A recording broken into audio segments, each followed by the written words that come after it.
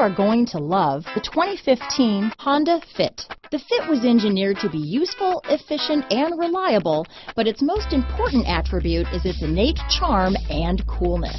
This vehicle has less than 100,000 miles. Here are some of this vehicle's great options.